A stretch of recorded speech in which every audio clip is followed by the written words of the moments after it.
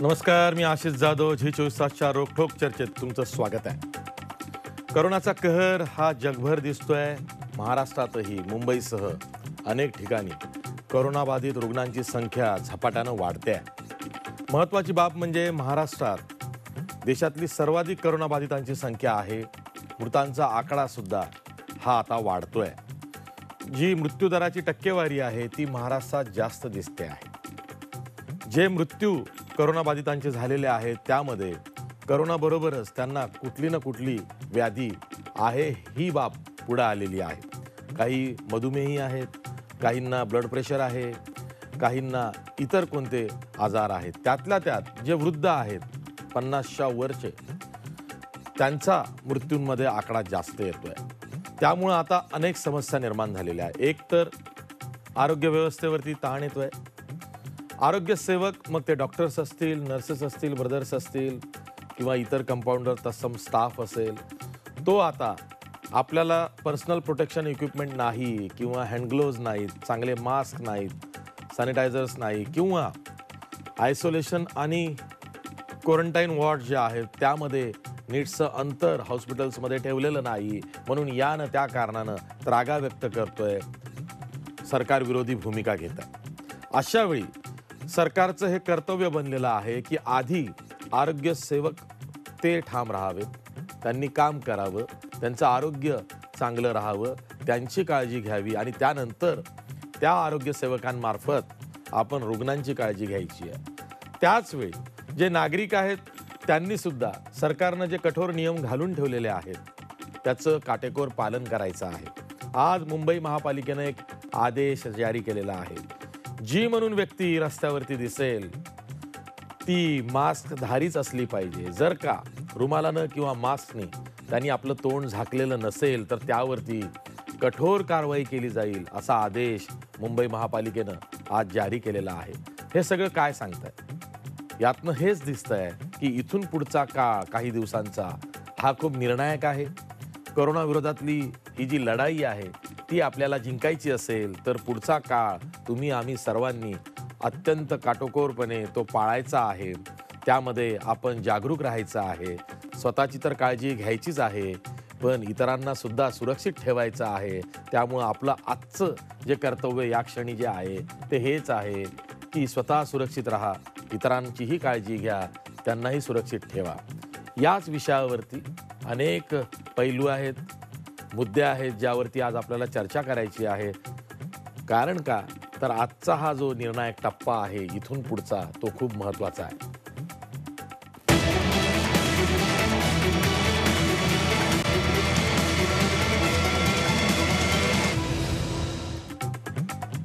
या चर्चेत सहभागी होण्यासाठी आपल्यासोबत मान्यवर पाहुण्यात आपल्यासोबत मुंबईच्या महापौर किशोरीताई पेडणेकर आहेत. त्याचबरोबर आपल्यासोबत काँग्रेसचे ज्येष्ठ आमदार भाई जगताप आहेत. आपल्यासोबत तरुण बालरोगतज्ञ आणि महाराष्ट्रातले एक आरोग्य साक्षरता वाढवणारे कार्यकर्ते म्हणून त्यांची ओळख झाली आहे. ते डॉक्टर अमोल अन्नदाते आहेत. त्याचबरोबर आपल्यासोबत थोड्याच वेळात राज्याचे वैद्यकीय संशोधन संचालक डॉक्टर तात्याराव लहाने सुद्धा असणार आहेत. मी सुरुवातीला प्रथम नागरिक म्हणून मुंबईच्या महापौर किशोरी पेडणेकर यांच्याकडे आहे किशोरीताई खरं तर मुंबई अशा प्रसंगातून चालली आहे की असं कधी वाटलं सुद्धा नाही की इतकी म्हणून संकट आजवर मुंबईवरती आली. पण एक विषाणूचं संकट मुंबईवरती येईल. आणि कधी नव्हे इतकी मुंबई जेरीस येईल अक्षरशः कोरोना विषाणूनं मुंबईला वेठीस आहे मुंबई स्टँडस्टिल झालेली आहे. कधी नव्हे ती मुंबई ठप्प झालेली आहे. तरीसुद्धा खूप काम करण्याची गरज आहे. तुम्ही आम्ही सर्वांनीच.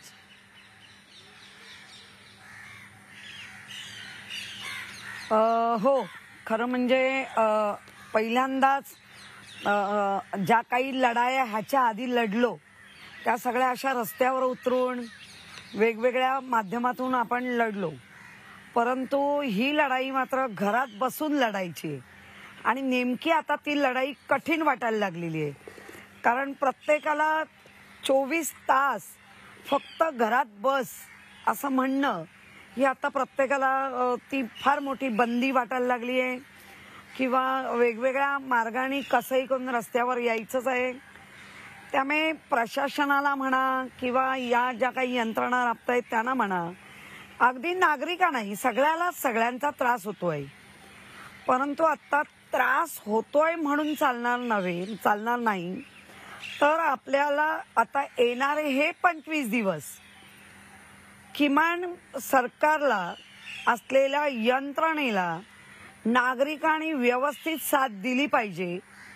जिथे जिथे आपण लोकांना तपासणीचे पथक जे पाठवले जात आहेत त्या ठिकाणी अनेक नागरिक अडथळे आणत आहेत खरं म्हणजे प्रत्येकाला कळलं पाहिजे प्रत्येक काम मग ते मुख्यमंत्र्यांपासून खालच्या आमच्या अगदी लेबरपर्यंत मग खासदार असू दे ते अगदी राज्य तुमचे गावातले ग्रामपंचायतचे लोक असू दे.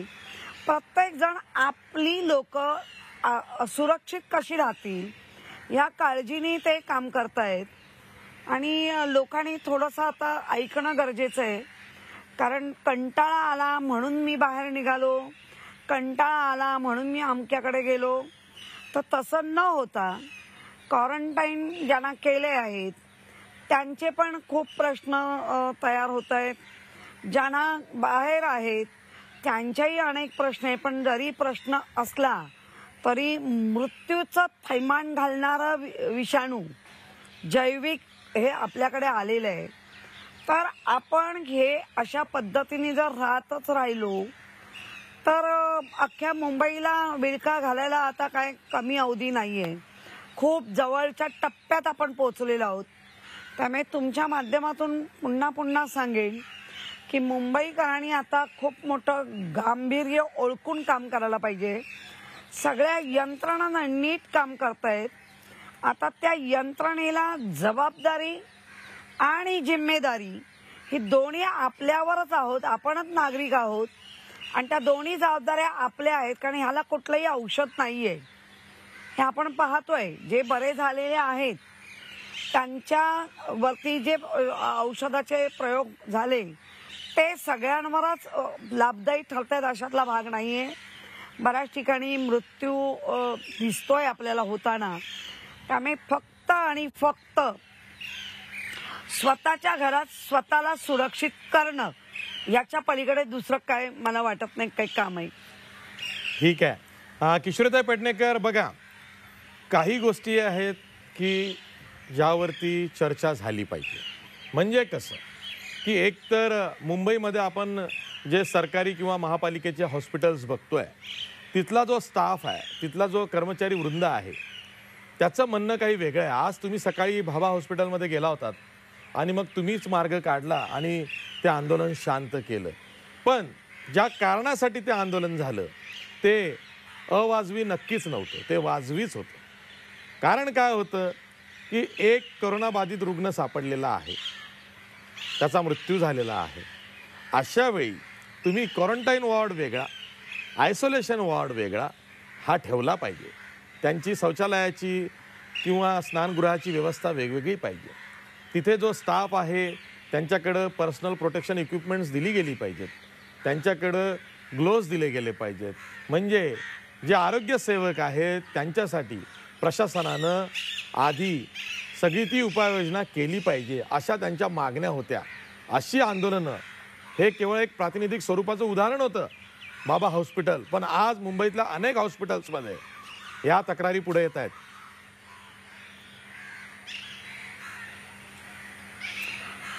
मी स्वतः आज पाच ते सहा हॉस्पिटलमध्ये गेली. अगदी शताब्दी हॉस्पिटल असेल नंतर आमचं M C M M C R असेल नंतर भाभा होतं त्याच्यानंतर व्ही एन देसाई होतं. त्यामुळे अशा बऱ्याच हॉस्पिटलना भेटी दिल्यानंतर लक्षात आलं आहे आणि कालचा जो प्रकार होता त्या ज्या रुग्ण होत्या त्याच्यामध्ये कुठले सिमटम्स नव्हते. आणि त्याला त्याच्यामुळे त्यांना ओपीडी कॅज्युलिटी ओपीडी त्याच्यानंतर वॉर्ड वॉर्डमधनं आय सी यू अशा त्या घडामोडी घडत असताना डेथ झाली. आणि त्याच्यानंतर घेतलेला जो सॉब होता तो पॉझिटिव्ह आला. आणि ते आल्यानंतर सगळ्यांना क्वारंटाईन करणं हे क्रमप्राप्त होतं काळाची गरज आहे. आणि ते केल्यानंतर काही जे ल- लोक होते म्हणजे आमचे स्टाफ होते त्यांची मागणी ही रास्त होती. म्हणजे मी स्वतः ऐकल्यानंतर माझ्या लक्षात आलं की या सगळ्या गोष्टी कोणाच्या जीवाशी कोणी खेळ खेळावं हे कोणालाच पसंत नाही. आणि आमचे तर मेडिकल स्टाफ तर चांगलाच राहिला पाहिजे कारण पुढे त्यांना आ- अधिक काम करायचंय. त्यामुळे जो तिथे डीन होते त्यांनाही ते त्याबद्दल सांगण्यात आलं. आणि त्याच्यानंतर कारण आता बऱ्याच ठिकाणी काय झालंय हॉस्पिटलचं इन आणि आऊट एकच होत आहे तर आपण आता बऱ्याच ठिकाणी तेही सांगितलंय की इन एका बाजूला ठेवा तर आऊट एका बाजूला ठेवा.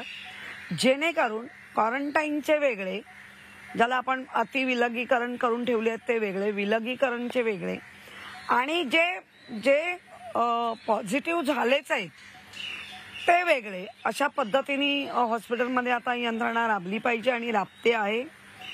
जेव्हा सकाळी त्यांच्याशी बोलल्यानंतर त्यांना चांगल्या क्वालिटीचे पीपी देणं त्याच्यानंतर जे डायरेक्ट अँट्रॅक होत आहेत जे जे डायरेक्ट लोकांबरोबर म, रुग्णांबरोबर टचिंग आहे त्या लोकांना तर पूर्ण सेट हा त्यांच्याकडे मिळाला पाहिजे. त्याच्यानंतर त्यांचं खाणं पिणं वेळेवर सगळं झालं पाहिजे. या सगळ्या गोष्टीची आज ब- बऱ्याच ठिकाणी अमाई घोले. जे आरोग्य चेअरमन आणि स्वतः मी अशा पद्धतीने आम्ही गेलो. आणि त्याचं पूर्ण म्हणजे डीन जे जे आम्हाला मे- भेटले त्या सगळ्यांशी चर्चा केली. आणि त्याबद्दलच्या असलेल्या त्रुटी त्याही लिहून आणल्या. आणि म्हणजे काल पण मी स्वतः सीपीडी जी मध्यवर्ती खरेदी डिपार्टमेंट आहे मी तिथेही जाऊन बसले. की किती वस्तूंची आपल्याला आता मागणी आहे आणि किती पुरवठा केला गेला पाहिजे या सगळ्याची जी चर्चा केल्यानंतर आजच सकाळी आमच्या ॲडिशनल कमिशनर आणि कमिशनर यांनी डायरेक्ट त्यांना सगळ्यांना ज्यांच्या डब्ल्यू आपली डब्ल्यू एच ओ मान्यता प्राप्त त्या सगळ्यांच्या खरेदी तुम्ही आता केल्या पाहिजे. आणि डीन जे आहेत त्यांना मुबलक जी हे दिली आहे एक त्यांच्यासाठी तुम्हाला जो खर्च वाटतोय आत्ता गरजेचा तो तुम्ही करू करू शकता अशा पद्धतीने आता केलेलं आणि आधीही होतच. तसेच वॉर्ड ऑफिसरांना पण तेवढेच अधिकार दिले आहेत तर मला वाटतं की आता म्हणजे अचानक घडल्यामुळे ते सगळे सिस्टर्स वॉर्ड बाय अमके तमके सगळे हे झाले होते थोडेसे. पॅनिक झाले होते आणि ते रास्त आहे. प्रत्येकाला स्वतःचा पहिला जीव प्यारा आहे. आणि त्यांनी ते सांगितलंय की आम्हाला कुठूनही सगळ्यांना मदत करायचीच आहे. पण आमची काळजी पहिली घेतली पाहिजे आणि त्यांना तो आज त्यांना जी एक शाश्वता हवी होती ती शासन प्रशासनाच्या वतीनं आम्ही ती दिली. आणि त्या पद्धतीने आता पूर्णतः ते काम वर्कआउट करतो आहोत. अगदी भ- शताब्दीमध्ये पण तसाच काहीतरी प्रकार होता. तोही आता थोडासा आम्ही त्यांनाच सांगितलंय. तुमचा प्लॅन आम्हाला द्या की कशा पद्धतीने कोरोना रुग्ण आणि विदाऊट कोविड नाईन्टीन हे लोकांना बाजूला करायचे आहेत. हे सगळं आता आज एवढा बऱ्यापैकी स्टडी किंवा बऱ्यापैकी वर्ग करून आलेलो आहोत. किशोरीताई पेडणेकर बघा करोना विरोधातली लढाई आपल्याला वेगवेगळ्या पातळ्यांवरती लढायची आहे. एक तर आपल्याला सर्व नागरिकांना तुम्ही तर मुंबईच्या प्रथम नागरिक आहात महापौर म्हणून. एक तर आपल्याला सर्वांना हे सांगायचं आहे की ही लढाई जिंकणं का गरजेची आहे? त्यासाठी तुमचं सहकार्य अपेक्षित आहे असं तुम्ही मुंबईकरांना सांगताय. त्यासाठी तुम्ही आदर्श घालून देताय. म्हणजे आज तुम्ही भाभा हॉस्पिटलला गेलात आज तुम्ही शताब्दी हॉस्पिटलला गेलात तुम्ही स्वतः पूर्ण व्हाईट मास्क घालून होतात हँडग्लोव्ज घालून होतात. पण तुमच्यासोबत आरोग्य समितीचे अध्यक्ष अमय घोलेसुद्धा होते. मी आता हे फोटो बघतोय तुमचे.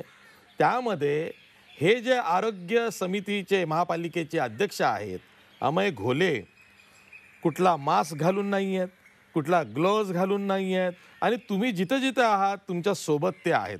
मला हेच सांगायचं आहे ताई की महापौर सगळी काळजी घेत आहेत पण आरोग्य समितीचे अध्यक्ष अमय घोले जे महापौरांसोबत फिरतायत ते मात्र कुठला मास्क घालत नाहीत कुठले ग्लोव्ज घालत नाही आहेत ते सर्व स्टाफशी बोलत आहेत ते सार्वजनिक ठिकाणी विदाऊट मास्क वावरत आहेत आणि त्याचवेळी महापालिकेचे आयुक्त मुंबईकरांसाठी आदेश जारी करतायत की तुम्ही जर का सार्वजनिक ठिकाणी विदाऊट मास्क दिसला तर तुमच्यावरती कारवाई केली जाईल. आता मला सांगा अमय घोले जे आरोग्य समितीचे अध्यक्ष आहे त्यांचे हे फोटोज अवेलेबल आहे तुमच्यासोबतचे. आजचेच आहेत. शताब्दी आणि भाभा हॉस्पिटल्समधले. काय कारवाई करणार? नाही नाही. अमय घोलेनी खरं मास्क लावलेला होता ग्लोजही होते. मी मी सांगते. आम्ही ज्या वेळेला हॉस्पिटलमधनं खाली आलो नेमके त्यावेळेला काढले गेले होते परंतु तो मास्क लावून होता. म्हणजे आले आहेत फोटो काही असे काढले गेले ते आले पण असतील. परंतु तो स्वतः त्यांनी संपूर्ण नाक आणि तोंड त्यांनी आच्छादित केलेलं होतं. आणि जिथे आता मी जिथे तुम्हाला इंटरव्ह्यू देते तो माझ्या निवासस्थानी असल्यामुळे थोडस मोकळं होऊन आता करते. पण खरं आहे आपण आपलं नाक तोंड हे आच्छादित केलंच पाहिजे. कारण आता बरेचसे कोविडचे कोविड नाईन्टीनचे पेशंट हे बाहेर थुकायला लागलेले वगैरे आहेत. आणि इतरांना त्याची लागण होऊ शकते. त्यामुळे ह्या सगळ्या काळजी घेणं गरजेचं आणि ते काळजीपोटी तुम्ही बोलताय त्याबद्दल मी आम्हाला खरंच आता आणि आ- आजच दुपारी आमचे सन्माननीय आमदार आदित्य ठाकरे यांनीही आम्हाला त्या पद्धतीने झालं की संपूर्ण काळजी घेऊन तुम्ही काम करा न पेक्षा घरात थांबलात तरी चालेल. परंतु घरात थांबणं हा आमचा पिंड नाही आणि जेव्हा प्रॉब्लेम असतात तेव्हा प्रथम नागरिक म्हणून मी जबाबदारीने जर त्या खुर्चीत बसले तर माझी त्याच्यापेक्षा जबाबदारी बनते की ते जाऊन सोडवणं. अशा पद्धतीने आपण करतोय पण निश्चित सांगते आम्ही सर्व मास्क वापरणार आणि लोकांना वापरायला लावणार. ताई माझ्याकडे दहा फोटोज आलेले आहेत तुमच्या आजच्या दौऱ्याचे.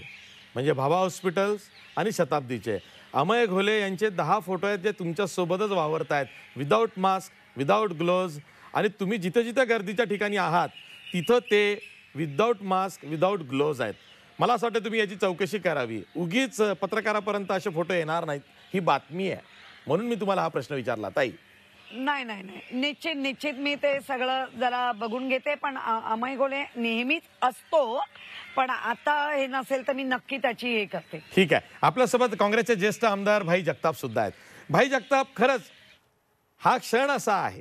हा इतका निर्णायक क्षण आहे प्रत्येकाच्या आयुष्यातला की कुणालाही असं वाटलं नाही की कोरोना विषाणू आपल्या आयुष्यावरती इतका विपरीत परिणाम करेल की तुम्हाला आम्हाला घरीच राहण्यास मजबूर करेल. एवढंच नाही तर अख्खं जग एक बंदिशाळा करेल. अशा वेळी आता खरंच प्रत्येकाची कसोटी आहे. म्हणजे सरकारची तर आहेच. केंद्र सरकार असू दे राज्य सरकार असू दे पालिका प्रशासन असू दे. पण आता प्रत्येकाचा हा कसोटीचा क्षण आहे. भाई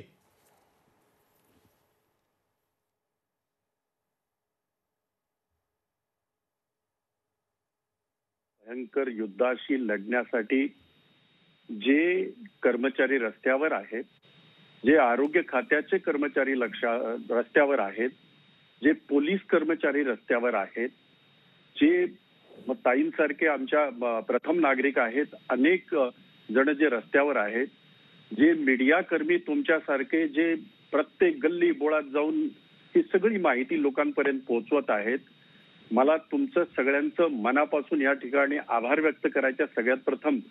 आणि त्या सगळ्यांना मानाचा मुजरा करायचा आहे तुम्हाला सगळ्यांना. कारण ही लढाई लढत असताना आपण सर्व आपलं कर्तव्य बजवत आहात. आणि या तुमच्या कर्तव्य बजावण्याला कुठंतरी आमच्यापैकी नागरिकांपैकी काही लोक गृहीत धरून चाललेत. याचं खरोखरच मला वै- वैषम्य वाटतंय. याचं मला मनापासून वाईट वाटतंय. आणि नक्कीच मी आपल्या माध्यमातून मी हात जोडून सांगू इच्छितो संपूर्ण देशातल्या नागरिकांना. नवे मुंबईच्या महाराष्ट्राच्या नवे जगभरातल्या नागरिकांना जे अडकलेले असतील त्यांना सुद्धा. बाबानो या महा आपत्तीचा या महामारीचं कसल्याही प्रकारचं औषध नाही. घरी राहणं आपल्याला सोशल डिस्टन्सिंग मेंटेन करणं आपल्या कुटुंबासमोर राहणं हे एवढंच आपल्या हातामध्ये आहे आणि हाच एक मार्ग आपल्यासमोर आहे. कारण आपल्या सगळ्यांना माहीत आहे आशिष तुम्हीही ते दाखवलेलं आहे ज्या चायनामध्ये याची सुरुवात झाली यु- युहानमध्ये आज जवळजवळ अठ्याहत्तर दिवसानंतर युहान हे उघडलंय. याचा दुसरा अर्थ असा निघतो जर आपण हे सगळं पाळलं तर आपलं हे संकट लवकर दूर होईल. परंतु आपण जर असा विचार केला की आम्ही घरात बसून काय करायचं आम्ही अमुक करायचं तमुक करायचं नाही हेच औषध आहे असं सगळ्यांनी समजा आणि जे कर्तव्य बजावतात आहेत रस्त्यावर असतील तिकडे स्टुडिओत असतील तिकडे रस्त्यावर स्वतःचा जीव धोक्यात घालून तुमच्यापर्यंत बातम्या पोहोचवणारे असतील पोलीस असतील त्यांच्याही घरामध्ये कुटुंबीय आहेत त्यांचीही मुलं आहेत त्यांचेही सगळे परिवार आहेत तरी सुद्धा ते तुमच्यानी माझ्यासाठी लढाई आपली लढाई लढतात आहेत. तुम्ही फक्त घरात बसून त्यांना सहकार्य करा. हे माझं सगळ्यांना सर्वात प्रथम आव्हान आहे. आणि आशिष आपण म्हणाल्याप्रमाणे मला या ठिकाणी मुद्दाम काही गोष्टी सांगाव्याशा वाटतील. काही आपण प्रयत्न करत आहोत. राज्य शासन प्रचंड प्रयत्न करत आहे. किंबहुना मला ही गोष्ट मुद्दाम इथे सांगावीशी वाटेल. देशाचा लॉकडाऊन हा नंतर झाला. परंतु त्याच्या अगोदरच महाराष्ट्र शासनाने आमच्या आघाडी सरकारने महाविकास आघाडी सरकारने उद्धवजींच्या नेतृत्वाखाली पंधरा तारखेपासून आम्ही संपूर्ण महाराष्ट्र लॉकडाऊन केला. आणि तरी सुद्धा आज जी काही परिस्थिती देशभरामध्ये आपण पाहतोय महाराष्ट्र त्याच्यामध्ये दुर्दैवाने पुढे आहे. या सगळ्या दुर्दैवी सगळ्या घटनांमध्ये केसेसमध्ये जे महाराष्ट्राला भूषणावह नाही मुंबई सारख्या ठिकाणी ज्या ठिकाणी एकशे बत्तीस कोटी लोक एका एवढ्याशा या मुंबईत राहतात. आणि आज मुंबईमध्ये ज्या पद्धतीने हॉटस्पॉट जे आपल्या सगळ्यांच्या दृष्टीस आलेले आहेत वरळी कोळीवाडा असेल मग ते अंधेरीचा काही भाग असेल पांढऱ्यातला काही भाग असेल धारावीचा काही भाग असेल आज आपण दररोज पाहतोय काही ना काहीतरी नवीन हॉटस्पॉट तयार होतात. हे अतिशय दुर्दैवी आहे आणि ते फक्त आणि फक्त आपण जे दुर्लक्ष करतो या सगळ्या गोष्टींकडे म्हणून होत आहे. म्हणून माझी विनंती आहे की सगळ्यांनी आपण सगळ्यांनी काळजी घ्या. आशिष आपण म्हणाल्याप्रमाणे होय मुंबई कधीच थांबली नव्हती. आज मुंबई ठप्प झाले.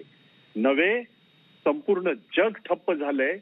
आणि कुणाच्याही आयुष्यात तुम्ही आम्ही हे पाहिलं नसेल दुर्दैवाने आपण सगळे हे पाहतोय अनुभवतोय अविश्वास बसतोय सगळ्या गोष्टींचा.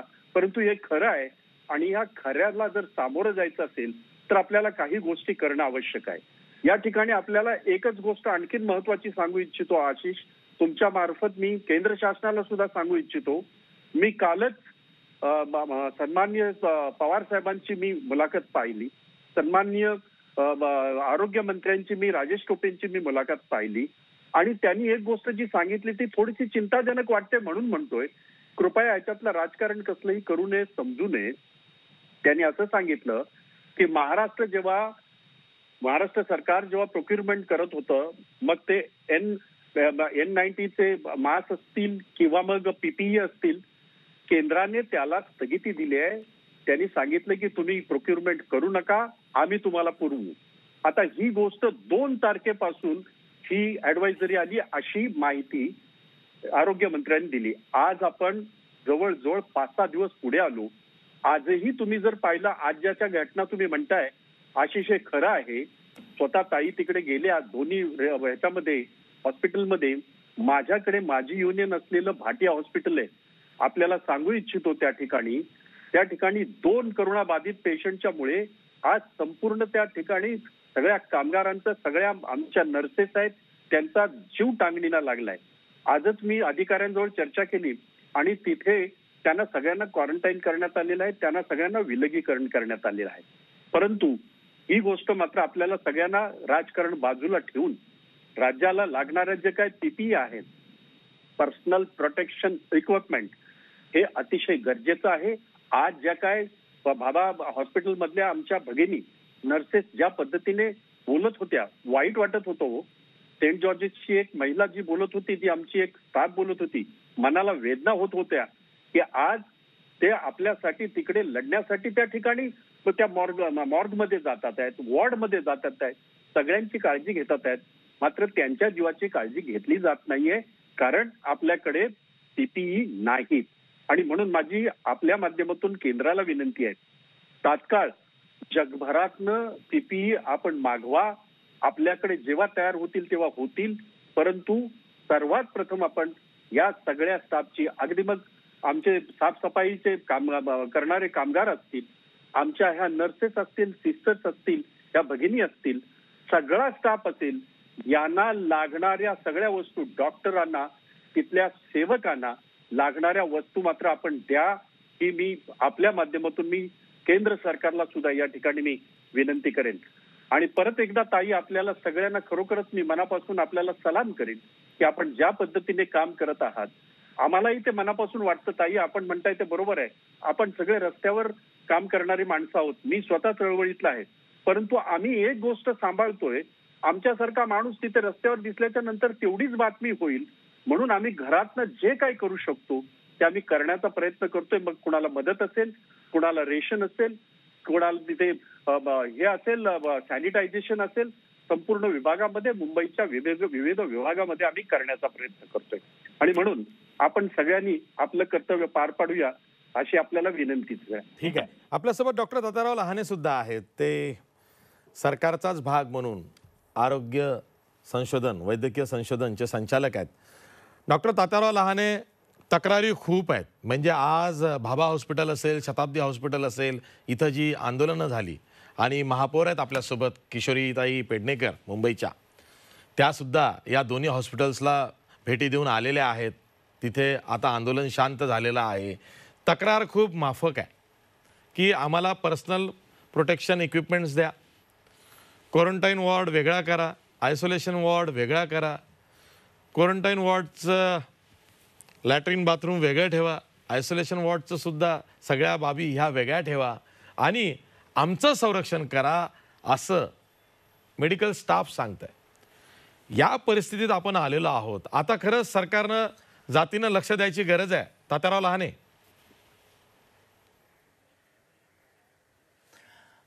आशिष जी नमस्कार. मला माफ करा मी थोडा उशीर झाला कारण मी मीटिंगमध्ये बसलो होतो.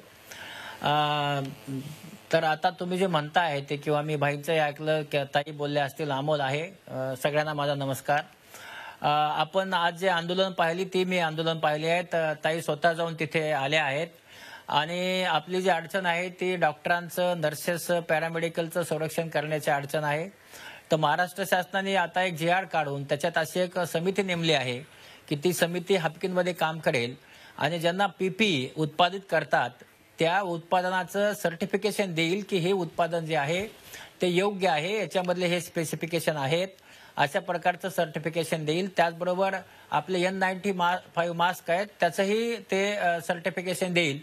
आणि हे सर्टिफिकेट दिल्यानंतर तसं ते हापकिनच्या वेबसाईटवर पडेल की याच्यामध्ये हे हे कंपनी आहेत या कंपनीचे ॲड्रेसेस आहेत याचे हे स्पेसिफिकेशन आहेत. आणि हे जे स्पेसिफिकेशन आहेत त्याचे स्पेसिफिकेशन त्याचे जे रेट कॉन्ट्रॅक्ट वेगळ्या वेगळ्या ठिकाणी झालेले आहेत. ते कुठल्या आपले असो कर्नाटकाचे असो कॉर्पोरेशनचे असो या सगळे रेट कॉन्ट्रॅक्ट दिले जातील. आणि त्याच्यामध्ये भारत सरकारने सांगितलंय की पीपीई जे किट आहे हे एक हजार सत्याऐंशीच्या वर जाऊ नये. अशा प्रकारचे रेट लावले जातील आणि सर्व कलेक्टर आणि या महाराष्ट्रातल्या सर्व कलेक्टर आणि कमिशनरला हे प हे विकत घेण्याची परवानगी देण्यात आलेली आहे. आणि त्यामुळे हे जे काल आम्ही मिटिंग घेतली त्याच्यामध्ये चार कंपन्याचे एन नाईन्टी फाईव्ह मास्क मंजूर केले आहेत आणि त्याच्यानंतर दोन कंपन्याचे पीपी किट मंजूर केले आहेत. आता आज पुन्हा त्याचे दो- अर्ज आलेले आहेत आणि आता आम्ही उद्या बसून बाकीच्या सगळ्यांचे ते मंजूर करणार आहोत. कुठल्याही डॉक्टरांना पीपीई किट कमी पडू नये. याच्यासाठी शासनाने जे मार्गदर्शक सूचना काढल्या आहेत त्यानुसार आम्ही हे पीपीई किट सर्टिफिकेशन करण्याचं काम बसून करत आहोत. रोज अशा प्रकारचे आम्ही मिटिंग घेऊन हे सर्टिफिकेशन करू. आणि जे लोकांना जितके क- कमी आहेत ते पुरवले जातील. फक्त एकच आहे की यामध्ये गैरसमज आहेत काही. आणि आपण जसं म्हणता क्वारंटाईन वार्ड आयसोलेशन वार्ड आणि कोविड वार्ड आणि आयसीसीयू मार्गदर्शक सूचनानुसार महाराष्ट्र हे पहिलं राज्य आहे की ज्यामध्ये आपण हे एक अधिसूचना काढून कुठले कोविडचे रुग्णालय आहेत आणि कुठले कोविडचे रुग्णालय नाहीत याची आपण अधिसूचना काढली आहे. त्यामध्ये मेडि डीएचएसचे किती मेडिकल एज्युकेशनचे किती आणि कॉर्पोरेशनचे किती असं केलं आहे. यानंतर राहिलं क्वारंटाईन. आता क्वारंटाईन हे आयसोलेशनमध्ये राहणारच नाही आहे कारण तशाच अधिसूचनाच गव्हर्नमेंट ऑफ इंडियाच्या आल्या आहेत. आयसोलेशन आणि हे जे कोविडचा वार्ड आहे हे मात्र एकत्र राहील आणि तिथंच ते सीसीयू असेल. आणि त्यांना लागणारे जे प्रोटेक्टिव्ह किट आहे त्याची पण अतिशय चांगली गाईडलाईन आली आहे. कुठल्या कुठले काम करत असताना कुणी किती वापरावे त्याचबरोबर त्या वार्डामध्ये किती लोकांनी काम करावं आणि त्यात हेही आलंय की ह्या लोकांनी चौदा दिवस काम करावं. चौदा दिवसानंतर ह्यांना पुढे जे आहे तर दुसरी बॅच येईल आणि चौदा दिवस घरी राहतील आणि काही साईड सिमटम्स आले तर सांगतील. अशा प्रकारच्या गाईडलाईन आलेल्या आहेत आणि महाराष्ट्र शासनाने पण गाईडलाईन तयार करायला सांगितलेल्या आहेत. त्यामुळे त्यांची सगळी जी आहे अशी जी ती काळजी घेतली जाणार आहे आणि त्याच्यासाठीचं जेवढं परचेस करणं गरजेचं आहे आपल्याकडे बरेच सीएसआर मधून पण मटेरियल आलेलं आहे. आणि कुठल्याही जिल्ह्यामध्ये किंवा कुठल्याही हॉस्पिटलमध्ये अशा प्रकारचं पीपीई किट कमी पडणार नाही एवढं नक्की तुम्हाला सांगतो. ठीक आहे. आपल्यासोबत डॉक्टर अमोल अन्नदाते आहेत. जसं मी म्हणालो की जेव्हा जेव्हा डेंग्यू असेल स्वाईन फ्लू असेल. अशा साथी जेव्हा आल्या तेव्हा डॉक्टर अमोल अन्नदाते यांनी एकतर आयदर लिखाण करून किंवा प्रसारमाध्यमांसमोर स्क्रीनवर येऊन आरोग्य साक्षरता वाढवण्याचं काम केलेलं आहे. आजही ते करतायत. डॉक्टर अमोल अन्नदाते अनेकांना एक प्रश्न पडलेला आहे. तुमची निरीक्षणं काय आहेत? की गेल्या दोन दिवसांमध्ये महाराष्ट्रातही आणि गुजरातमध्येही मृत्यूदर वाढलेला आहे. म्हणजे जितके रुग्ण आहेत त्या तुलनेमध्ये पाच ते सहा टक्के मृत्यूदर हा काल परवा दिसलेला आहे. तर हा जो मृत्यूदर आपण दोन टक्क्यांपर्यंत मर्यादित ठेवला होता तो एकाएकी वाढतोय कसा? काय वाटतंय?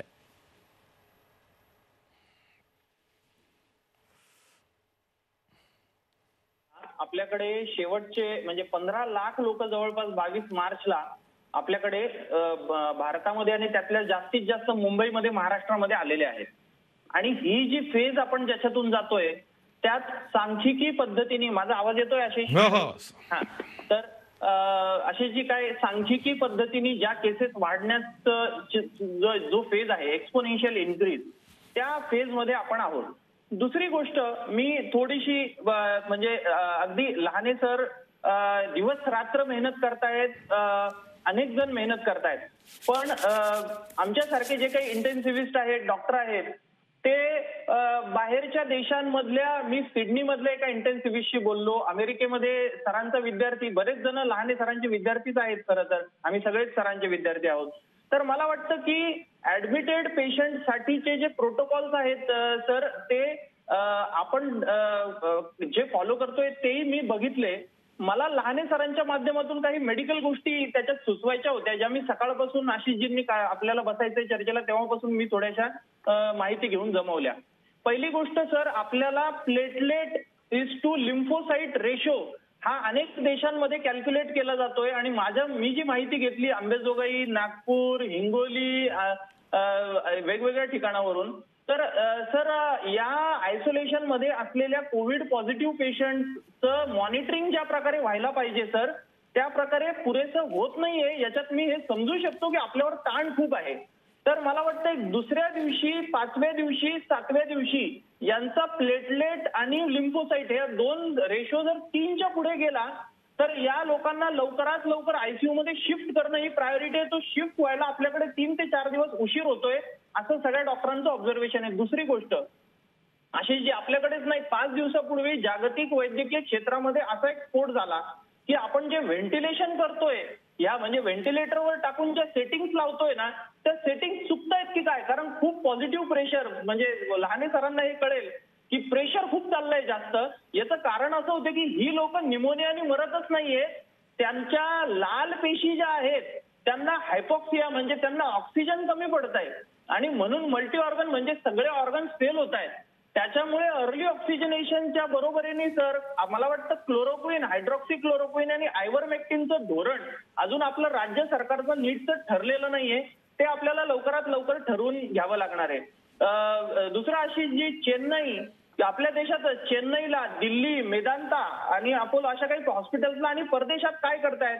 की जी पेशंट कोरोना पॉझिटिव्ह होऊन बरी झालेली आहेत त्यांच्यामध्ये जवळपास आठव्या ते दहाव्या दिवशी अँटीबॉडीज म्हणजे कोरोनाच्या विरोधात लढणाऱ्या ज्या पेशी असतात त्या निर्माण झालेल्या आहेत.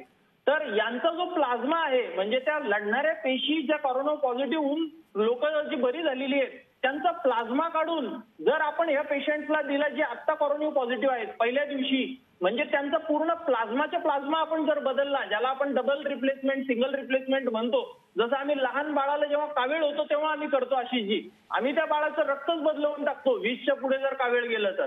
तर अशा प्रकारचे प्रयोग महाराष्ट्रात जर केले तर लहाने सर पद्मश्री आहेत. माझी इच्छा आहे की आमचे लहाने सरांना भारतरत्न मिळावा.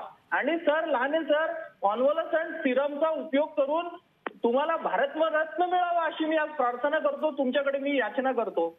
दुसरी आणि महत्वाची गोष्ट मला सांगायचं आहे सर की high dose vitamin C vitamin C हा घटक दीडशे मिलीग्राम इंट्राव्हिनस तीन वेळा सगळ्या जगात दिला जातोय पण तो आपल्या महाराष्ट्रात आपल्या देशात अजून दिला जात नाहीये. मला वाटतं लहाने सर तुम्ही केंद्रीय आरोग्य मंत्र्यांशी या संदर्भात बोलावं. आय व्ही थायमिनचा मी एक रिपोर्ट काही मध्ये आणि इटलीतले काही रिपोर्ट वाचतोय सर. तर थायमिनचे चांगले इफेक्ट्स आहेत.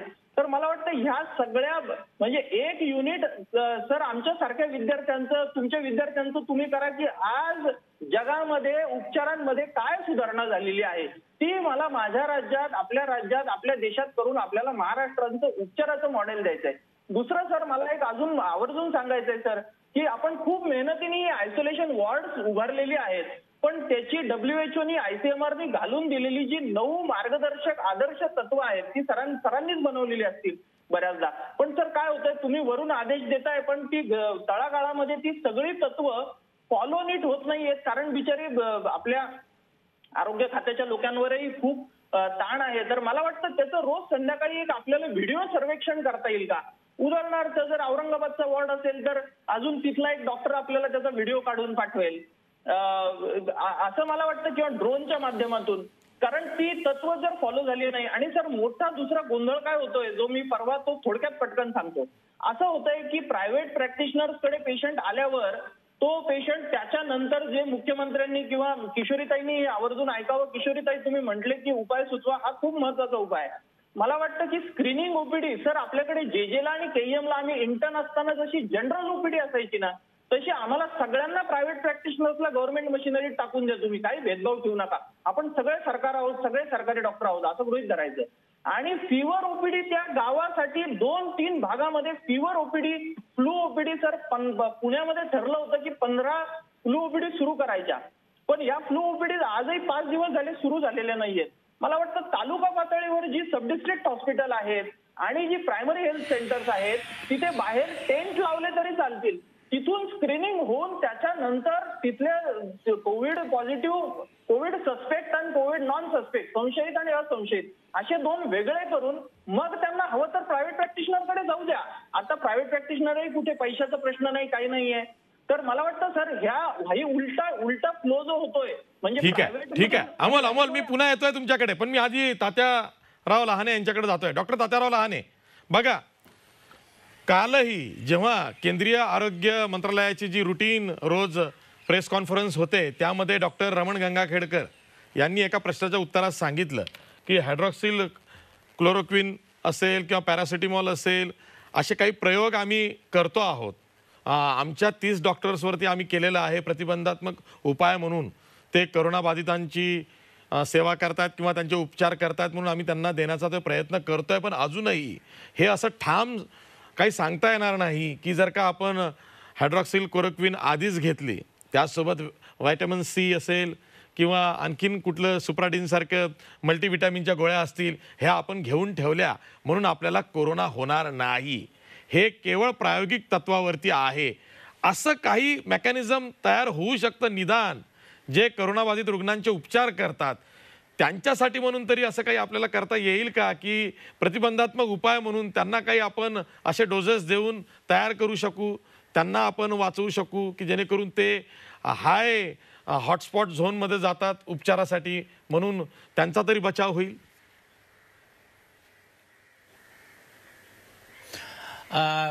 आतापर्यंत जे आपल्याकडे एफ डी एने किंवा आपल्या आय सी एम आरने मंजूर केलं आहे ते आहे हायड्रॉक्सी क्लोरोक्विन आणि आता आपण जर पाहिलं तर हायड्रॉक्सी क्लोरोक्विन दिल्यानंतर असं म्हटलं जातं की चेस्टमध्ये जे काही इन्फेक्शन आहे ते कमी प्रमाणामध्ये होईल. आणि म्हणून आपण ते सर्वच जेवढे लोक कोविडमध्ये काम करणार आहेत त्या सर्वांना आपण प्रोटेक्टिव्ह डोस जो आहे तो मागच्या आठवड्यापासून दिला आहे. पण यावर कुठलेही म्हणजे याच्यामुळे प्रिव्हेन्शन होईल अशा प्रकारचं सांगता येत नाही. जसं आता अमोलने सांगितलं की त्याचे प्लेटलेट बघितले पाहिजे. आणि प्लेटलेट बघून त्यांना प्लेटलेट कमी झाल्याबरोबर त्यांना असं घेतलं पाहिजे याचा नक्की विचार करण्यात येईल. पण याचं मेकॅनिझम समजलं पाहिजे. मेकॅनिझम असं आहे की हा जेव्हा ज- विषाणू आत जातो तेव्हा एक म्युकोलाइट लेअर त्या पेशीच्या बाजूला फुफ्फुसमध्ये तयार करतो आणि ते ऑक्सिजनमध्ये ऑक्सिजन मिसळू देत नाही. आणि लाल पेशी ज्या आहेत आपल्या त्या लाल पेशीवर काम करतो. आता बऱ्याच ठिकाणचं जेव्हा मी वाचतो तेव्हा त्या बऱ्याच जणांचं असं म्हणणं आहे की ब्लड ट्रान्सफ्युजन दिलं पाहिजे. बऱ्याच जणांचं म्हणणं आहे की व्हेंटिलेटर लावत असताना आपल्याला व्हेंटिलेशन लावत असताना त्यांना ऑक्सिजन जे आहे जसं हायपरबारिकमध्ये आपण ऑक्सिजन जास्त देतो तशा प्रकारचा ऑक्सिजन दिला पाहिजे. दुसरं असं अमोलने सांगितलं की प्लाझ्मा जो आहे अर्धा दिवस ज्याला झाला आहे त्याच्यानंतर त्याच्यात दोन अँटीबॉडीज तयार होतात आय जी जी आणि आय जी एम तर I G M G antibody आहे हे त्याचं प्रिव्हेन्शन करत असते. अशा प्र- प्रकारचा प्लाझ्मा द्यावा. आणि म्हणून हा प्लाझ्मा देण्यासाठी आम्ही आय सी एम आरकडे जवळपास सहा सात दिवसापासून त्याला परमिशन मागितली आहे. आणि हा प्लाझ्मा देणं एक चांगली गोष्ट आहे की याच्यामुळं कारण तो जो प्लाझ्मा असतो तर तो प्लाझ्मा या ह्याच्यामध्ये जाऊन चांगलं काम करतो. तसंच ब्लड ट्रान्सफ्युजन म्हणजे आपण जर आज पाहिलं तर या आजारामध्ये महाराष्ट्रामध्ये सहा टक्के लोकांचे मृत्यू होतात. बाकीच्या ठिकाणी भारतात तीन टक्के होतात.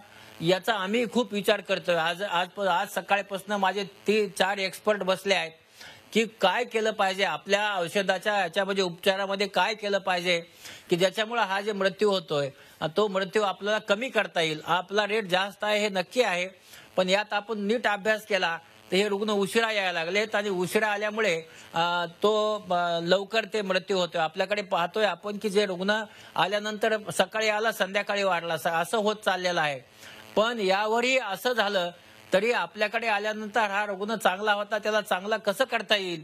यासाठीच्या गाईडलाईन आम्ही जरी आम्हाला गव्हर्नमेंट ऑफ इंडियाने दिल्या असल्या तरी महाराष्ट्रात त्या काय बदलता येतील हे आम्ही आजच त्याच्यावर निर्णय करण्यासाठी डॉक्टर बसवले आहेत. आणि जसं अमोलनी सांगितलं ही सगळी माझी माझी मुलं आहेत जे भारतात आहेत भारताबाहेर आहेत तेही बरंचसं सुचवत आहेत. आणि अमोल असं सुचवत राहा कारण कसं असतं की एखादी गोष्ट जेव्हा घडते तेव्हा फक्त एक माणूस दोन माणूस तीन माणूस नाही तर ज्यांना ज्यांना ज्ञान आहे त्यांनी ह्या सगळ्या गोष्टी सांगणं गरजेचं आहे. आणि जसं आपण सांगितलं फिवर तर आपल्याकडे आता आपले सगळे हॉस्पिटल जे आहेत कोविड हॉस्पिटल डिक्लेअर झाले आहेत. आणि आपण आता त्या सर्वांना कंपल्सरी केलं आहे की आपल्याकडे फिवर आणि नॉन फिवर ओपडी असावी. आणि फिवर ओपडीमध्ये गरज पडल्यानंतर कुणाला बोलवायचं? यासाठी महाराष्ट्र मेडिकल काउन्सिल आणि सगळ्या मेडिकल काउन्सिलला आपल्या सगळ्यांचे नावं आपल्या सगळ्यांचे फोन नंबर आपल्या सगळ्यांचे पत्ते घ्यायला सांगितलेत. ज्यांना आम्ही बोलवू. आणि त्यांना ह्या ओपडीमध्ये आम्ही हे काम करायला लावू. म्हणून आम्ही सगळ्या प्रकारचे अ बी सी प्लॅन जे आहेत हे रेडी करून ठेवले आहेत. आणि आपण आप- यासाठी जितकं काही करता येईल पेशंटला ते करण्यासाठी आम्ही नक्की प्रयत्न करत आहोत. अगदी बरोबर आहे. एक पत्रकार म्हणून तर माझ्या डोळ्यासमोर पंधरा वर्षाचा सगळा काळ आला. म्हणजे अमोलला मी के एममध्ये मार्टचा अध्यक्ष वगैरे असताना भेटलो होतो. मला आठवत आहे दोन हजार चार पाचच्या दरम्यान. तेव्हा अशाच पद्धतीने तो भांडत असे आणि आज तो सूचना करतोय सल्ले देतोय. चांगला आहे किशोरीताई हा एक मुद्दा आहे की जितक्या टेस्ट तुम्ही कोरोनाच्या कराल तितके रुग्ण बाहेर येतील. टेस्ट ड्राईव्ह जसं जर्मनीमध्ये त्यांनी टेस्टच्या टॅक्सीज ठिकठिकाणी मोबाईल व्हॅन सुरू केलेल्या आहेत. तर आता टेस्ट सुद्धा सक्तीचं घरोघरी जाऊन होऊ शकत नाही का? त्यावरती पालिका म्हणून काही विचार झालाय का? आपण नाही नाही झाला नाही आपण ऑलरेडी चालू केलं आहे. गेल्या तीन दिवसापूर्वीच. तीन दिवसापूर्वीच केलं आहे. म्हणजे कालच्या याच्याप्रमाणे आपण दहा हजारच्या वर कोळीवाड्यामध्ये जेव्हा तपासणी केली तेव्हा एकशे तीस लोक आपल्याला सापडली. की जी संशयित वाटत आहेत आणि जेव्हा संशयितांना आपण ताब्यात घेतले तेव्हा पंचावन्न त्याच्यामध्ये पॉझिटिव्ह आले. त्यामुळे अशा पद्धतीने आपल्या संपूर्ण टास्क फोर ही आपली आता चालू झालेली आहे. तसंच जी कप आपण ज्याला खासी खोकला ताप ती पण ओपीडी आपण वेगवेगळ्या ठिकाणी एकाच वॉर्डमध्ये तीन तीन ठिकाणी चालू केले आहे. त्यामुळे म- हा जो आत्ता जो आकडा वाढतोय तो आज जरी वाढला तरी मला वाटतं पुढच्या पाच सहा दिवसात तो हळूहळू कमी येईल. हॅलो. हा बोला. हॅलो. हा सलग बोला. तो आकडा कमी येईल आणि ह्या या पद्धतीने आपण ओपीडी चालू केलेले आहेत जिथे आता आजच आपण कोविडचे नॉन कोविड आणि कोविड नाईन्टीन हे कुठच्या हॉस्पिटल ह्याची यादी आपण प्रसिद्धी केलेली आहे. संकेतस्थळावर जाऊन आपण सगळ्यांना देतोय. कुठच्या वॉर्डमध्ये कुठल्या प्लेसमध्ये म्हणजे कुठल्या ठिकाणी हे घडतंय. त्याच्यामुळे खूप मायल्यूट लेवलला आता सगळी कामं चालू आहे फक्त याच्यामध्ये सहकार्याची भूमिका ही नागरिकांचीच असली पाहिजे. पेशंट लपून राहणं पेशंटनी हिस्ट्री देणं नाही हे जर होत राहतं तर पेशंट वाढत जातील. पण लवकर समोर आले तर आपण त्यांच्यासाठी का उपचारही लवकर करू शकतोय. प्लस ज्यांच्यावरती हो- ज्यांना आता चौदा ता दिवस झाले त्यांना सोडू शकतो. परंतु काही ठिकाणी ह्या सगळ्या गोष्टी होत नाहीयेत. ही मोठी दुर्दैवाची बाब आहे. ठीक आहे. भाई पुन्हा तोच प्रश्न आहे की सर्वांनी मिळून आता कलेक्टिव्ह एफर्ट्स किंवा एकत्रितपणे एकजूट दाखवून काम करण्याची गरज आहे. आणि ही जागतिक महामारी आहे. ग्लोबल पेंडेमिक आहे. अशा वेळी केंद्र सरकारची महाराष्ट्र सरकारला मदत खूप महत्त्वाची आहे. म्हणजे एक तर आधीच महाराष्ट्र सरकारनं केंद्र सरकारला सांगितलं की आमची तिजोरी ही रिकामी आहे. तुम्ही सोळा हजार कोटीची देणी आम्हाला देणं लागता ती द्या. वरून पंचवीस हजार कोटी रुपयेसुद्धा द्या. म्हणजे जर का ही एकत्रित रक्कम बघितली तर ती जवळपास आता चाळीस एक हजार कोटीमध्ये जाते. तर आज खरंच केंद्र सरकारनं सडळ हस्ते महाराष्ट्राला मदत करण्याची तीही आर्थिक मदत करण्याची गरज आहे. आशिष तुम्ही म्हणताय ते खरं आहे परंतु त्या त्याच्यावर मी येतो. त्याच्यापूर्वी एकच मुद्दा मला या ठिकाणी मुद्दाम मांडायचा आहे. डॉक्टर अमोल असतील डॉक्टर आमचे लहाने असतील मी रात्री दोन दोन वाजता आम्ही बोलत असतो माहिती घेत असतो. खरोखरच आपण अतिशय प्रभावीपणे काम करत आहात. फक्त माझी विनंती आहे डॉक्टर लहाने आपण बोलताना एक गोष्ट बोललात की आम्ही काय- काही कंपन्यांना अप्रूव्ह केलंय. माझी विनंती आपल्याला आहे मीडियाकडे ती सगळी नावं की आपण कुणा कुणा कुठल्या कंपनीला अप्रूव्ह केलंय म्हणजे मग ते पीपीई साठी असेल किंवा मग ते एन नाईन्टी फाय असेल कारण झालंय असं की बाजारामध्ये जो सुळसुळाट चाललाय तो सुळसुळाट आपल्याला थांबवता येईल. डॉक्टर अमोलनी जे काय ब- ब- याच्या महत्त्वाच्या आणि अतिशय उपयुक्त अशा सूचना दिल्यात खरोखरच मनापासून एक आनंद वाटतो की हा हा लढा आपण चांगल्या प्रकारे लढू शकतो. आता आपण म्हणालात आशिष हे खरं आहे. आता मी सुरुवातीलाच म्हणालो इथे राजकारण हा विषय नाही. एक लक्षात घ्या देशामध्ये सगळ्यात जास्त प्रभावित जर कुठला प्रदेश असेल तर तो महाराष्ट्र आहे. आणि त्याला कारण आहेत. आपल्याला आठवत असेल इंटरनॅशनल एअरपोर्ट हे कधी बंद झालं? तर हे जेव्हा ब- ला- देशाचा लॉकडाऊन झाला तेव्हा. राज्य शासनाने कधी लॉकडाऊन केला तर पंधरा तारखेला. आणि तेव्हाच ते करणं आवश्यक होतं. दुर्दैवाने तसं घडलं नाही. कृपया ह्याच्यातनं परत राजकारण करू नये. परंतु या देशामधला सगळ्यात प्रभावित असलेला प्रदेश कुठचा असेल तर तो महाराष्ट्र आहे. आणि असे जे प्रभावित आहेत मग केरळ असेल मग त्याच्यामध्ये समजा गुजरात असेल किंवा आणखीन कुठचे प्रदेश असतील ह्या सगळ्या प्रदेशांना विशेष निधीची अपेक्षा आम्हाला होती. आणि ते मी जे तुम्हाला आठवत असेल एक मी माझा एक व्हिडिओ पाठवला होता तो तुम्ही दाखवला. लोकांना काही लोकांना तो प्रचंड आवडला काही लोकांना नाही आवडला परंतु ही वस्तुस्थिती आहे. आपण बाकीच्या गोष्टी करू. ज्या काय समजा तुम्ही त्याला काही म्हणा त्या आपण करू. मग त्या थाळ्या वाजू ते काय करायचं ते करू. पण हे जे आवश्यक आहे राज्य शासनाला कुठून पैसा आणणार? राज्य शासन कुठून उभा करणार? आज सोनिया गांधींनी सुद्धा जे काय पाच कालमी कार्यक्रम दिलेला आहे तो हाच दिलेला आहे. वीस हजार कोटीची टेंडर निघतात दिल्ली ब्युटिफिकेशनची. अहो इथे आज परिस्थिती अशी आहे की लोकांचा जीव वाचवणं गरजेचं आहे. आज वीस आणि हा वीस हजार कोटीचं कधी मान्य झालं? सोळा मार्चला. आणि त्याच्यानंतर लॉकडाऊन होतोय. काय म्हणजे मला मोठं आश्चर्य वाटतंय. त्याच्या अगोदर गेले जानेवारी पासून आपण चर्चा करतोय. आणि याच्याकडे केंद्राने जितकं लक्ष घालायला पाहिजे ते घातलं नाही असं एक नागरिक म्हणून मी म्हणतोय काँग्रेसचा प्रवक्ता म्हणून नाही. कारण हा ही लढाई भाजपची नव्हे ही लढाई काँग्रेसची नव्हे ही लढाई शिवसेनेची नव्हे ही सगळ्या सर्वसामान्यांची लढाई आहे. आणि म्हणून जे आवश्यक आहे मग महाराष्ट्र राज्य आहे होय सगळ्यात जास्त प्रभावित महाराष्ट्र राज्यात आमचे डॉक्टर प्रभावित झालेत आमच्या नर्सेस भगिनी प्रभावित झाल्यात आमचे जे साफसफाई करणारे कर्मचारी प्रभावित झालेत. आज जर त्यांना घेण्यासाठी पीपीई घेण्यासाठी त्यांना जी संसाधनं घेण्यासाठी जर पैसे मागितले असतील तर हीच ती वेळ आहे. केंद्र सरकारने या बाबतीमध्ये विचार करणं आवश्यक आहे आणि केंद्राने मदत करणं आवश्यक आहे. हे मला या ठिकाणी मुद्दाम सांगावं असं वाटेल आपल्याला. ठीक आहे. मी सर्व मान्यवर पाहुण्यांचे आभार मानतोय. इथेच थांबतोय. कारणही तसंच आहे. एकतर वेळ झालेली आहे. आणि दुसरं म्हणजे कोरोनावरती आपण समाधक बाधक चर्चा करा किंवा हेक्टिक चर्चा करा. ती चर्चा पूर्ण होऊ शकत नाही कारण ही ऑनगोईंग प्रोसेस सुरू झालेली आहे. आपल्याला माहिती नाही आहे की या संकटातून आपण कधी नेमकं बाहेर पडणार आहोत.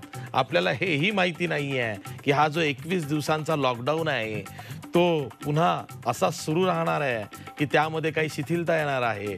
आली तर नेमकी कोणत्या पद्धतीची येईल? आपल्याला काहीच माहीत नाही आहे आपण चक्रव्यूहात अडकलेलो आहोत.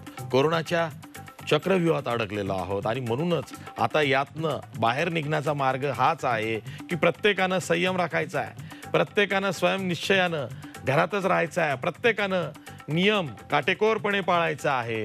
नियमाच्या बाहेर जाऊन चौकटीच्या बाहेर जाऊन जर का आपण काही करू म्हटलं तर ते आपल्या अंगलट येणार आहे. हे आता तरी सर्वांनी जाणून घ्यायचं आहे आणि तीच अपेक्षा आहे. मी इथेच थांबतोय. पाहत राजी चोवीस तास. रहा एक पाऊल पुढे.